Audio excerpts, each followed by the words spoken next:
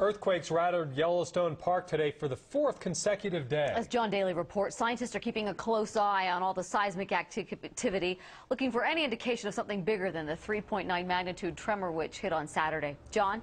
Deanie and Jed, that's right. You know, the Mountain West region and Yellowstone in particular are no strangers to earthquakes. But what scientists say is unusual is to see the kind of energy that they're seeing for this extended period of time.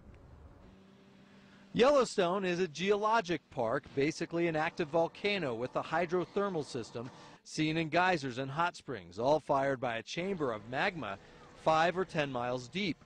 The region is a hotspot for earthquakes, even big ones like the 7.5 Hebgen Lake quake in 1959, which left a 20-foot split in some locations. Over the last four days, U of U seismograph stations have monitored an energetic set of temblors, more than 250 events, including nine of magnitude 3 to 3.9 wiggle that you see are actually events that occurred or uh, um, in the last uh, 11 uh, hours. Earthquakes. And earthquakes, yes.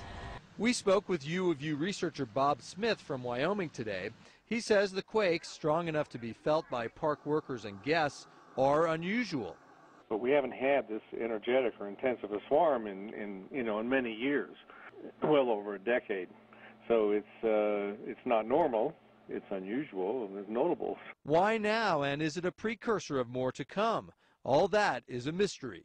We don't know why it just happened now. We we normally get 1,000 to 2,000 earthquakes a year in Yellowstone. Uh, the fact we got, you know, 250 or so in three days means we made up a lot of that, that energy release in a short period of time. The Wasatch Front itself is due for a potentially major earthquake. Scientists say the Yellowstone quakes should serve as a reminder. But when they do occur, when it does happen, it's going to be an extremely uh, large impact the quakes did continue today, though scientists say none of them reached greater than 3.0 on the Richter scale. There's a lot of great information about all this on the web. For links, check out our website, ksl.com. Deanie and Jed, back to you. Thanks, John.